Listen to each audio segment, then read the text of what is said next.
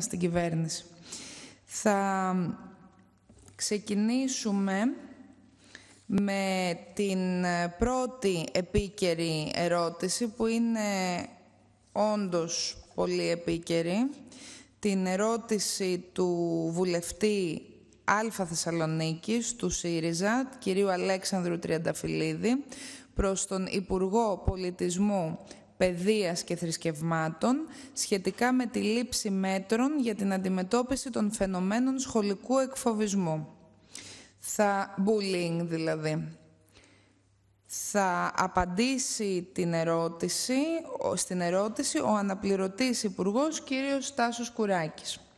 Κύριε Τριανταφυλλίδη, θα σας δώσω το λόγο για να αναπτύξετε την ερώτηση για δύο λεπτά με ανοχή, γιατί είναι και το θέμα τέτοιο που θα άξιζε, αν ήταν περισσότεροι βουλευτές στην αίθουσα, θα άξιζε πραγματικά να γίνει γενικευμένη συζήτηση για το bullying με τη διαδικασία που προβλέπει ο κανονισμός. Και συγχαρητήρια που πήρατε την πρωτοβουλία. Ελάτε. Σας ευχαριστώ, ε, κυρία Πρόεδρε, κύριε Υπουργέ. Καταρχήν μια αναγκαία διευκρίνηση. Η ερώτηση συντάχθηκε στις 6 Μαρτίου, Παγκόσμια ημέρα κατά του σχολικού εκφοβισμού. Κατατέθηκε από την κοινωνιστική ομάδα του ΣΥΡΙΖΑ στις 10 Μαρτίου. Και αυτό το, την αναγκαία διευκρίνηση την θέτω για να μην θεωρηθεί είτε δημοσιογραφικά είτε πολιτικά ότι ε, επιχειρήθηκε να γίνει κάποιος επικοινωνιακός, ε, μια επικοινωνιακή αξιοποίηση ε, της τραγικής κατάληξης που αναδεικνύει και το ζήτημα, το θέμα, τις ευθύνες ενός εκάστου και όλων ε, μαζί πάνω σε αυτό το θέμα που καταρχήν να εκφράσουμε την συμπαράστασή μας στους ε, συγγενείς, στην οικογένεια ε, του, του παιδιού. Δεν θέλω να αναφέρω το όνομά του, ακριβώς γιατί θα πρέπει να προστατεύσουμε και τη μνήμη του και αυτή να γίνει δυστυχώς το σημείο εκκίνησης για να μην ξαναθρηνήσουμε ε, ε, θύματα. Ουσιαστικά, κύριε Υπουργέ, για να μην μπούμε στη διαδικασία των ευχών και των προσευχών, είναι σαφές ότι το κράτος και οι υπηρεσίες μπορούν να θέσουν το πλαίσιο και αυτό είναι το ερώτημά μου, κατά πόσο δηλαδή ε, φαίνεται ότι είναι επαρκής και συγκροτημένη η διαδικασία πρόληψη και καταστολή. Η καταστολή βέβαια αναφέρεται στον, στο Υπουργείο Δικαιοσύνης. Το Υπουργείο Δικαιοσύνης έχει ανακοινώσει ότι θα υπάρξει και θα καλυφθεί το σχετικό κομμάτι που αφορά την α, ε, ποινή, γιατί δυστυχώς η Ελλάδα είναι η μόνη χώρα η οποία δεν έχει υιοθετήσει την Ευρωπαϊκή Οδηγία και την Ευρωπαϊκή Νομοθεσία για την ποινικοποίηση ε, του, του bullying. Και από ό,τι με ενημέρωσε ο κύριος ε, Παρασκευόπουλος, ε, κατατείνει προς αυτή την κατεύθυνση να καλύψει δηλαδή το κομμάτι εκείνο που δεν καλύπτεται από την υπάρχουσα ρύθμιση σε σχέση με την σωματική κακοποίηση. Το ερώτημα τώρα αναφέρεται στην πρόληψη. Η, ενδεχομένως η ρύθμιση θα λειτουργήσει αποτρεπτικά και θα παίξει και ένα ρόλο στην, στην πρόληψη. Η πρόληψη έχει να κάνει με την κινητοποίηση της κοινωνίας, της εκπαιδευτικής κοινότητας, καθηγητών, γονιών μαθητών και ουσιαστικά εκεί θέλω να θέσω πώς σκέφτεται το Υπουργείο σε αυτό το αντιθετικό ζεύγος από τη μια α, απουσία έγνοιας, φόβος, ε, σιωπή και από την άλλη έγνοια, μέρημνα, αλληλεγγύη. Είναι ένα αντιθετικό ζεύγος που αν θέλετε και η ίδια η αξιολόγηση του προβλήματος, ακολουθώ τη σκέψη του κυρίου Γεράσιμου Κολαΐτη, που είναι αναπληρωτής καθηγητής διευθυντής της παιδοψυχιατρικής κλινικής του Πανεπιστημίου της Αθήνας, στο Γενικό Νοσοκομείο Παιδών η Αγία Σοφία, που λέει οι πιο πολλοί παρατηρητές θα ήθελαν να μπορούσαν να εμποδίσουν το school bullying. Αν οι παρατηρητές δείξουν δυσαρέσκεια, το στο 75% των περιπτώσεων σταματάει ο εκφοβισμός. Και εδώ είναι η σημασία της έγνοιας, της φροντίδας απέναντι στο φόβο, την αδιαφορία και τη σιωπή.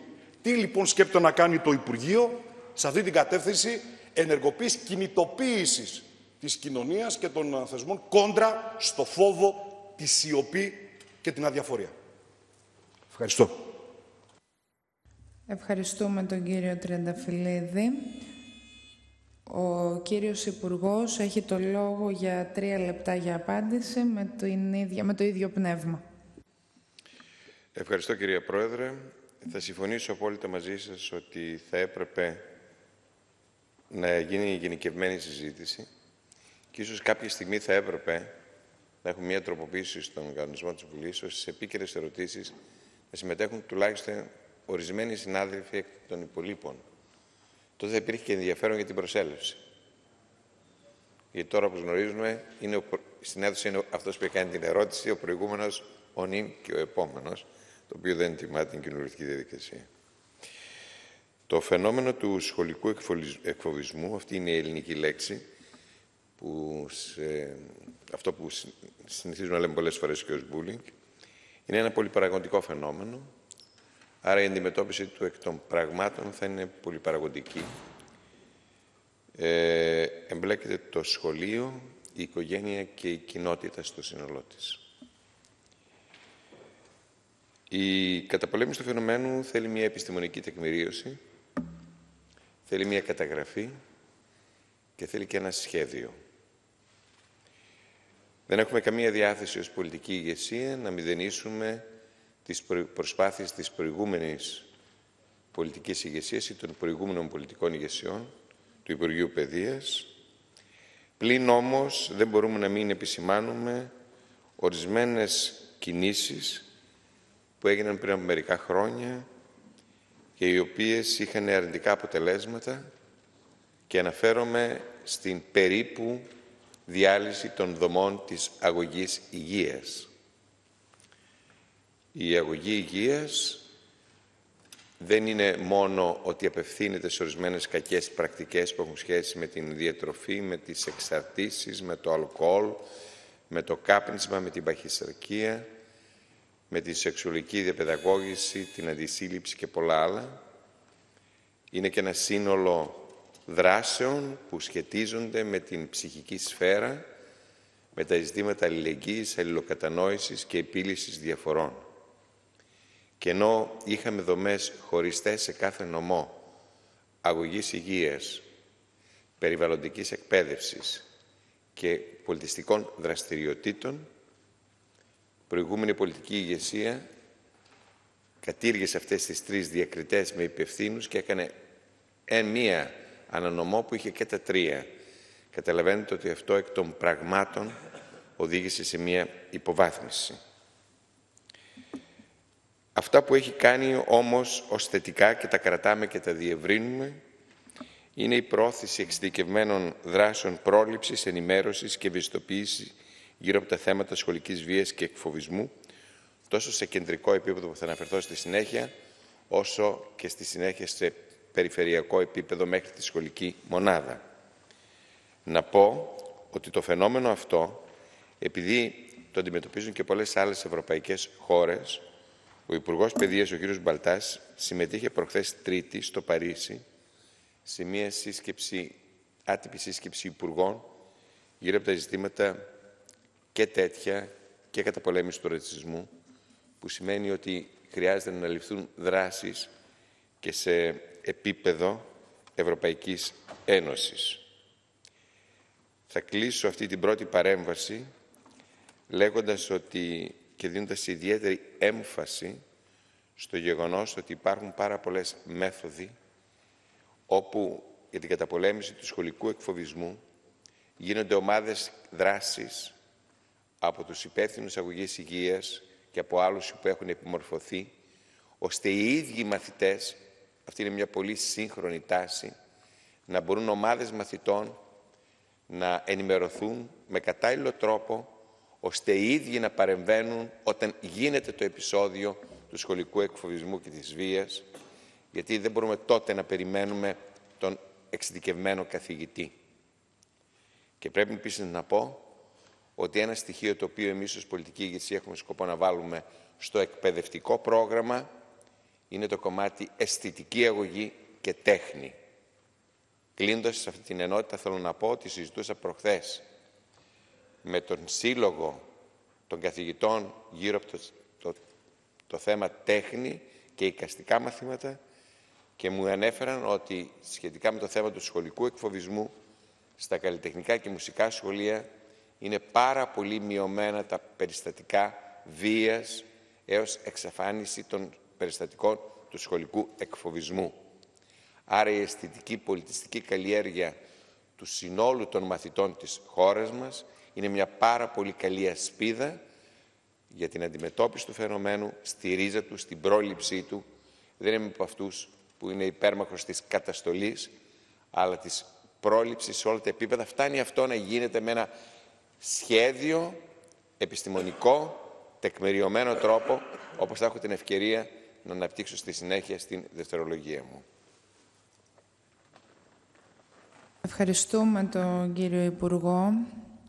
Ε, ο κύριος Τριανταφυλλίδης, ο ερωτών βουλευτής, για τρία λεπτά. Να συνεχίσω από εκεί που σταμάτησε ο Υπουργός. Το ζητούμενο είναι τι κάνει η δρόσα και ζώσα κοινωνία. Δεν είναι ευκαιρία να φτιάξουμε άλλη μια υπηρεσία ή να παραπέψουμε το θέμα στις καλένδες ή να φτιάξουμε μια κεντρική ψυχολογική επιτροπή στο Υπουργείο Υγείας, ε, στο Υπουργείο Παιδείας για να αντιμετωπίσει το πρόβλημα. Ε, ξαναέρχομαι γιατί το ίδιο το πρόβλημα μας δείχνει το δρόμο. Το International Network for a Better School το 2010 ψάχνοντας, ακτινογραφώντας το, ε, το πρόβλημα είπε και το επαναλαμβάνω ότι αν οι παρατηρητές δείξουν δυσαρέσκεια που είναι παρόντες στο επεισόδιο του σχολικού εκφοβισμού, τότε στο 75% των περιπτώσεων, 3 στις 4 δηλαδή, ο εκφοβισμός θα σταματήσει εκεί πάρα αυτά. Στο 54% των επεισοδίων οι θεατές ενισχύουν το bullying, τον εκφοβισμό, με το να παρακολουθούν παθητικά, σαν να μην συμβαίνει τίποτα. Γι' αυτό και έθεσα το αντιθετικό ζεύγος αδιαφορία, σιωπή, δεν με νοιάζει, που αυτό δεν αφορά γενικά κάποιον κάπου κάποτε, αφορά το γονιό, αφορά τον καθηγητή, άσε μωρέ να μην μπλέξω, γιατί την επόμενη θα έρθει ο γονιός ενδεχόμενα του καταγγελόμενου και θα έχω ιστορίες κλπ. Άρα τι μπορεί και τι πρέπει να κάνει ε, κατά την άποψή μας η πολιτεία και γι' αυτό το λόγο ανταλλάσσουμε με αυτή την ε, θέση και σχέση αυτές τις σκέψεις. Προτείνω λοιπόν, ε, κύριε Υπουργέ, κύριε Κουράκη, σε κάθε σχολική μονάδα το σχολικό συμβούλιο κατά της βίας που ο διευθυντής Παύλα καθηγητής εκλεγόμενος από το Σύλλογο, Γονέων, από το Σύλλογο των Καθηγητών, ένα. Δύο, ο εκπρόσωπος του Συλλόγου Γονέων και Κηδεμόνων, δύο. Και ο σχολικός φύλακας που επανέρχεται στη σχολική μονάδα και είναι η μέρημνα, βλέπει τα παιδιά, τα γνωρίζει, τα ξέρει, παίζουν στη διάρκεια του διαλύματος, είναι εκτός του σχολικού χρόνου, μπορεί να αποτελούν τον πόλο αναφορών με όλη την διακριτικότητα και την προστασία των προσωπικών δεδομένων, έτσι ώστε τα παιδιά και οι γονείς να έχουν ένα απάγγιο και έναν μηχανισμό ουσιαστικό, ο οποίος μπορεί να λειτουργήσει ε, προληπτικά για την αντιμετώπιση των, του σχετικού προβλήματος, της σχετικής καταγγελίας, των ομάδων που αναπτύσσονται εντός και εκτός με εξωσχολικά στοιχεία, τα ζούμε καθημερινά. Αλλά εκεί κουβεντιάζοντας με παιδιά γυμνασίου και λυκείου και αυτό πρέπει να πιάσουμε, είναι ότι η καταγγελία τους είναι δεν ενδιαφέρονται. Πρέπει να δημιουργήσουμε το κέλυφο στο θεσμικό ως πολιτεία και να εντάξουμε εκεί την δρόσα και ζώσα κοινωνία η οποία θα αντιληφθεί και θα λειτουργήσει ουσιαστικά και λυτρωτικά για το θέμα. Δεν αρκούν κινητοποιήσεις για να εκφράζουμε το θυμικό και την οργή που είδαμε χθες στα δελτία ειδήσεων, πορείες και συγκεντρώσεις κατά της σχολής. Δεν φταίει ούτε η σχολή, ούτε το κτίριο, ούτε τα τζάμια, ούτε η αστυνομία που προσπάθησε να προστατεύσει. Φταίμε εμείς η κοινωνία και η πολιτεία στο βαθμό που δεν δημιουργεί τα κάδρα μέσα στα οποία μια κοινωνία μπορεί να αναγεννηθεί και να χτυπήσει, να κοιταχτεί στον καθρέφτη και να χτυπήσει τον κακό της σε αυτό. Αυτό λοιπόν προτείνω, κύριε Υπουργέ, αν το βλέπετε, σαν μια θετική συνεισφορά σε αυτήν τη συζήτηση, σχολικά συμβούλια, ανασχολική μονάδα κατά της βίας. Καθηγητής, γονιός, σχολικός φύλακας. Ευχαριστώ. Ευχαριστούμε τον κύριο Τριανταφυλλίδη. Το λόγο έχει ο κύριος Υπουργός, ο κύριος Κουράκης. Ε, η πρόταση του κυρίου Τριανταφυλλίδη είναι ενδιαφέρουσα, πλην όμως θα έλεγα ότι χρειάζεται ένα εμπλουτισμό. Ξέρετε, το ζήτημα της καταπολέμησης των τέτοιων συμπεριφορών όσο και εξαρτήσεων και άλλων καλών πρακτικών, αναφέρομαι και την καταπολέμηση του AIDS και άλλα, απαιτούν επιστημονική τεκμηρίωση και γνώση. Δεν μπορεί οποιοδήποτε εκπαιδευτικός ή οποιοδήποτε γιατρός να εκπληρώσει το χρέος του εάν δεν έχει την κατάλληλη επιμόρφωση και δουλεύει με επιστημονικές μεθόδους. Γι' αυτό το λόγο το Υπουργείο αξιοποιεί και θα αξιοποιήσει προγράμματα ΕΣΠΑ για την επιμόρφωση 16.500 εκπαιδευτικών, τα έχουμε αυτά τα χρήματα, με σεμινάρια, με επιμορφώσεις με διάφορους τρόπους, να μην σας κουράζω, το οποίο είναι απαραίτητη προϋπόθεση. Αυτό που είπατε για τη σχολική μονάδα, θα δείτε ότι το Υπουργείο το αντιμετωπίζει σφαιρικότερα. Δηλαδή, χρειάζεται καταρχήν μια κεντρική επιτροπή στο Υπουργείο, που ονομάζεται Κεντρική Επιστημονική Επιτροπή, η οποία αποτελείται από έγκριτους και κατεξιωμένους πανεπιστημιακούς με πολύχρονη εμπειρία πάνω στο θέμα, η οποία εισηγείται τη μεθοδολογία επιτροπή αυτή και το περιεχόμενο των πρόδρομων δράσεων ευαισθητοποίησης και ενημέρωσης εκπαιδευτικής κοινότητας. Εισηγείται τα κριτήρια επιλογής των μελών του δικτύου από εκεί και κάτω, εισηγείται την εκπόνηση ψηφιακού και έντυπου επιμορφωτικού υλικού, χωρίς αυτό δεν μπορούν να δουλέψουν οι σχολικές μονάδες, παρακολουθεί βεβαίως την πορεία του έργου, πώς πάει, πώς δεν πάει, για να υπάρχει μια διόρθωση και υλοποιεί πρόδρομες δράσεις ευαισθητοποίησης. Από εκεί και κάτω πρέπει να σας πω ότι υπάρχουν σε επίπεδο περιφέρειας οι επιτροπές συντονιστών δράσεων πρόληψης, οι οποίοι προσπαθούν μέσω των αναλυτικών προγραμμάτων σπουδών και μέσω και εμείς θα επιδιώξουμε εντατικοποίηση των προγραμμάτων αγωγής υγείας, με ερευνητικές εργασίες, project, προγράμματα σχολικών δραστηριοτήτων, συμβουλευτική σταθμή νέων και άλλα, να μπορέσουν να περάσουν την οργάνωση από εκεί και κάτω στους νομούς και, ε, και στη συνέχεια στις σχολικές μονάδες. Αυτό που είπατε για το, για την, για το Συμβούλιο Ανασχολείο, Ανασχολική Μονάδα Πρωτοβάθμιας και Δευτεροβάθμιας Εκπαίδευσης, είναι αυτό που ονομάζουμε Σχολική Ομάδα Δράσεων Πρόληψης.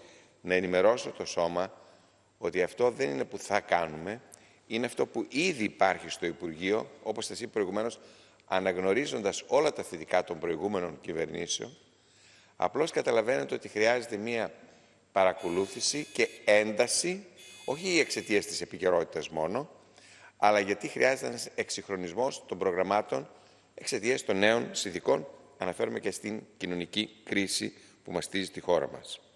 Όντως οι εκπαιδευτικοί ορίζονται από το Σύλλογο Διδασκόντων. Υπάρχουν δύο μόνιμοι εκπαιδευτικοί, οι οποίοι όχι μόνο επιμορφώνται οι ίδιοι, αλλά ένα από τα καθήκοντά τους είναι να επιμορφώνουν και τους υπόλοιπους εκπαιδευτικούς της σχολικής μονάδας. Επίσης, να σας αναφέρω ότι επειδή ακριβώς πέρα από το σχολικό εκφοβισμό έχουμε και τον διαδικτυακό εκφοβισμό. Ένα εξαιρετικά επικίνδυνο φαινόμενο και υπάρχει μια αφίδρομη διαδρομή ανάμεσα στο σχολικό και στον διαδικτυακό εκφοβισμό. Όπως σας είπα και προηγουμένως, ότι ο χωρισμός των παιδιών σε ομάδες, εργασίες πάνω σε συγκεκριμένες ενότητες, με βιωματική δράση και όχι απλά με επανάληψη μονότονων εντολών και τρόμου. Τα ίδια τα παιδιά πρέπει να πάρουν την κατάσταση στα χέρια τους, βεβαίως η επιμόρφωση των γονέων και βεβαίως η επιμόρφωση της κοινωνίας. Αυτό που ανέφερε ο κύριος Τριανταφυλλίδης για την αδιαφορία είναι πραγματικά πάρα πολύ σημαντικό ο αδιάφορος άνθρωπος όταν κάποιος δίπλα σου κακοποιείται, όπως γνωρίζει και η νομική επιστήμη, είσαι απολύτως, μα απολύτως συνυπεύθυνος για αυτό το οποίο διαδραματίζεται. Θα ήθελα να κλείσω αυτή την τοποθέτηση επισημαίνοντας ότι στις ε, προτεραιότητες του Υπουργείου είναι να μπορέσουμε να εξασφαλίσουμε, αν όχι όλα μαζί, αλλά με ένα προοδευτικό τρόπο, την ύπαρξη ψυχολόγου και αν δεν μπορούμε ένα σχολική μονάδα, τουλάχιστον ένα σχολικό συγκρότημα, έτσι ώστε να μπορούν να διευθετούνται συγκρούσεις τόσο ανάμεσα στα παιδιά, όσο και τις αρμονίες ανάμεσα στα παιδιά, στους καθηγητές και στους γονείς. Το κομμάτι της ψυχολογικής υποστήριξης και της πρόληψης είναι καθοριστικής σημασίας. Θέλω να πιστεύω ότι αυτά τα μέτρα είναι μέτρα τα οποία μπορούν να αρχίζουν να αντιμετωπίζουν καταρχήν το φαινόμενο. Χρειάζεται παρακολούθηση, εκτίμηση του αποτελέσματος. Ήδη μέσα στο πρόγραμμα του Υπουργείου αυτή τη στιγμή υπάρχουν υπηρεσίες που καταγράφουν τα περιστατικά σε τακτική βάση, έτσι ώστε να μπορούμε να έχουμε επιστημονικές έρευνες για την έκθεση του προβλήματος, χωρίς να κάνουμε ούτε υπερδιόγκωση, ούτε να το υποτιμούμε. Θέλω να πιστεύω ότι θα έχουμε την ευκαιρία, το είπε και η κυρία Πρόεδρος στην αρχή, η Βουλή να συζητήσει ολοκληρωμένα το ζήτημα σε όλες τις διαστάσεις, γιατί πέρα από τον σχολικό εκφοβισμό υπάρχει και ο εργασιακός εκφοβισμός και υπάρχει ο εκφοβισμός σε πολλές άλλες πτυχές της ζωής μας. Σήμερα ευχαριστούμε τον κύριο Τριανταφυλλίδη για την ερώτηση αυτή. Νομίζουμε ότι έχουμε πολλά να κάνουμε και κυρίως, και κλείνω, να κριθούμε για όλα αυτά τα οποία είπαμε ότι θα δρομολογήσουμε στην πορεία, αν όντως πραγματικά έχουν πραγματοποιηθεί. Σας ευχαριστώ. Ευχαριστούμε τον ε, κύριο Υπουργό και τον κύριο Βουλευτή. Νομίζω ότι οι διαστάσεις που προσέλαβε η υπόθεση η οποία φώτισε το ζήτημα του σχολικού εκφοβισμού και του bullying, που όπως είπατε δεν περιορίζεται μόνο στα σχολικά περιβάλλοντα, επιβάλλει η Βουλή να συζητήσει το ζήτημα αυτό σε ευρεία σύνθεση και θα αναλάβω πρωτοβουλία ως Πρόεδρος προκειμένου να προκληθεί μια τέτοια συζήτηση. Θέλω να επισημάνω ότι έχουμε και εμείς ως βουλευτές και ως Κοινοβούλιο την ευθύνη η ζώσα και δρώσα κοινωνίας στην οποία αναφερθήκατε κύριε Τριανταφυλλίδη να εκπροσωπείται από μια ζώσα και δρώσα βουλή η οποία την ακούει πραγματικά και προστρέχει στα προβλήματά